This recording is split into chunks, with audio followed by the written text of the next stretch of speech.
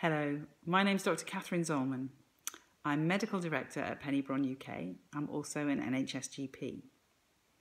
And at Penny Brohn, we support people who are affected by cancer to build their own resilience um, using a range of different self management and support techniques so that they can live well.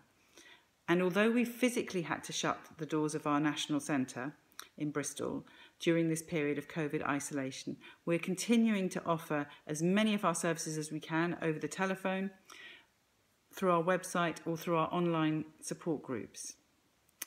And we're aware through doing this just how much anxiety there is at the moment due to the COVID crisis. And it's particularly so in the cancer community. And this is very understandable. So many things have changed. Many people are receiving letters, which are called the shielding letters, telling them that they need to be completely isolated and look after themselves as they're very vulnerable. And this anxiety is, in some ways, very justified, but it's also maybe more contagious even than the virus itself. Social distancing doesn't protect you from the anxiety that can sometimes be fueled by everything that's going on around us. So, I want to hopefully bust a few myths and help people find ways of managing that anxiety in ways which keep them safe but also help support their resilience and don't undermine it. So, first of all, I do want to remind people that although COVID 19 can sometimes be serious and even life threatening illness, for the vast majority of people, even those in the vulnerable groups, this is an illness that people can recover from and most will recover from within a matter of weeks. So I think that's often a fact that's, that kind of gets forgotten or maybe distorted when we all think of it as, as if I catch it, that's, a, that, that's that's it. That's a really, really serious illness. Yes, it can be, but it can also be a mild and self limiting illness. And I don't know if people saw a wonderful interview with George Alagiah, a BBC News presenter, who himself is living with advanced stage four colon cancer and was in the middle of chemotherapy when he actually contracted the COVID 19 illness.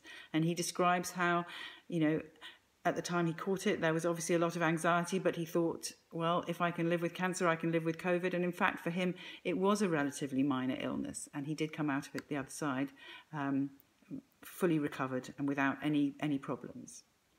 And in fact, um, the idea that a lot of cancer patients and people who've had cancer treatment are worried about that their immune system may not be able to cope if they get the virus is very understandable, but actually the evidence is quite mixed around this. And in fact, some ways it may be more dangerous to have an overactive immune system than an underactive immune system.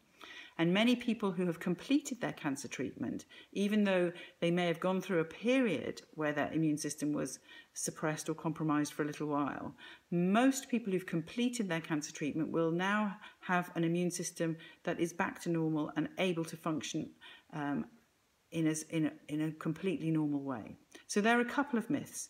COVID 19 isn't always a fatal or severe illness, and many people who've undergone cancer treatment have robust immune systems that will have recovered fully. And also, one of the important things is that although many people think that there's nothing we can do uh, apart from avoid a virus uh, to, to help us deal well with it, actually there's a lot of evidence, not yet for COVID 19, but for many other viral illnesses, including coronavirus illnesses, that actually we can support our own immune response to it um, and our resistance and resilience to it in a number of different ways. Obviously, things like getting enough sleep, getting enough rest, being physically active in a way which supports our health, eating in a way which supports our health and not only our health but the health of our of those millions of bacteria that live in our guts our microbiome which are, is so important for us developing and maintaining healthy immune responses. Those are all really important things that we can do in a preventative way to make sure that if we do come in contact with the virus our immune systems are in as good shape as possible. Now as well as those things it's also really important to keep our stress levels as well managed as we can. Now, at this time, almost everybody I meet, almost everybody I know is feeling more stressed than usual. And this is, this is completely normal. But recognizing our stress and being able to at least give ourselves temporary relief from that using a range of relaxation techniques, and there are many out there, tools and techniques that are proven to help reduce people's response to a stressful situation and reduce the physical effect it has on our body, those can be really important. And I would like to put a big shout out here for breathing. Breathing techniques are free, they're available to, for us to do any time of day or night, and they are incredibly powerful ways of helping to regulate our stress response and help shift it towards a more helpful relaxation response.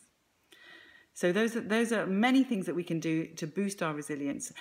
And let's not also forget that things we enjoy in life and things that feel nourishing for us as people and nourishing for us in our spirits, that's another really powerful way of supporting our immune resilience and our immune um, capability.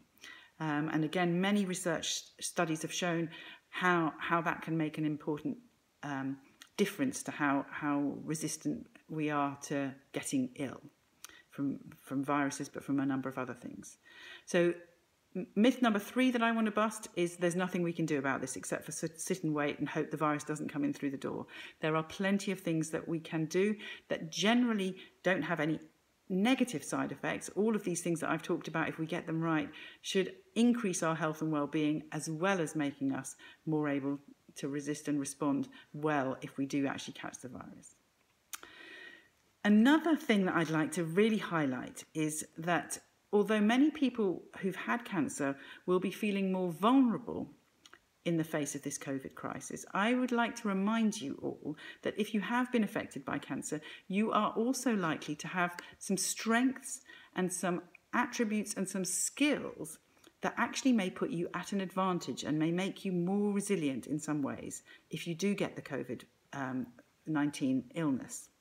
And many people will have actually been quite, had already had an experience of having to face uncertainty, face the possibility of a life limiting illness, and will have had to actually um, manage that, that situation, which to other people may feel, how would I ever get through that? And again, I remain reminding people that if you have been able to live with a cancer diagnosis and live through those terrifying few weeks where you're still waiting for tests and finding out what's going on and finding out what the situation is and being given a prognosis, all of those things will stand you in extremely good stead in this troubling time when for many people this is the first time that they're actually even thinking about any of those things. Um, I also think that in some ways, although many people are finding that receiving those letters saying, you know, you are in a vulnerable group, a particularly vulnerable group, you need to shield. Many people find that receiving that letter can bring back those that sense of anxiety, that sense of I'm not well, and therefore I need to really look after myself. Actually, for some people, they can they can see these letters as a wonderful way of being given permission to really look after themselves in the way that they want to. And I think it's about getting that balance right. Um, I think different people with different cancers and different treatment regimes will be differently vulnerable. And I think the trouble is that these letters have come out and it's just one letter that have been sent to all the different people in that group, even though people's individual vulnerability may be, may be very different from one another. So I would encourage you, if you are feeling restricted or feeling that that social isolation and that shielding letter and instructions are stopping you doing some of the things that normally keep you resilient, like maybe going outside and getting fresh air, I would really encourage you to talk to your oncology teams and find out just how how important it is for you to be 100% with those with those rules. Most people can find a way of getting outside in places where they're not going to come into contact with other people or at times when things are relatively quiet where they can keep a, a reasonable distance, so a distance of three meters or more from the next person, um, and where they can actually carry on enjoying some of the things that they've enjoyed.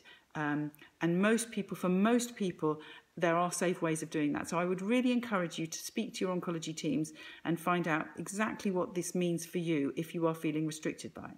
Now, other people are finding that actually, in some ways, it's it's kind of reassuring and they feel safer. Um, absolutely adhering to this and staying indoors. So if that's you, that's absolutely fine. Um, and I recognise that the government is really trying to err on the side of caution with all of these and, and give simple advice that is across the board. And that makes an awful lot of sense. So I absolutely um, want to encourage you to, to follow and all the guidance and to do everything that's in your power to stop you getting or passing on the virus. That's obviously really important.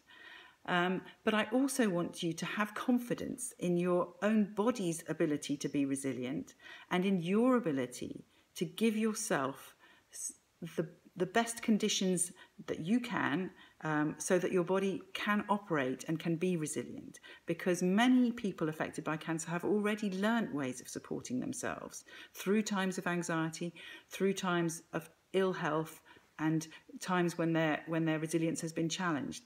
So I really encourage you to play to those strengths, to remember that as a community, although in some ways you have been labelled vulnerable, actually maybe you do have some hidden strengths and maybe not so hidden, actually some really important strengths and skills that can really come into play now and that can really be of benefit. So I hope that's been helpful. Please do, as I say, get in touch with us at Penny Brohn. We're always really keen to find out how we can support you, how we can help you more.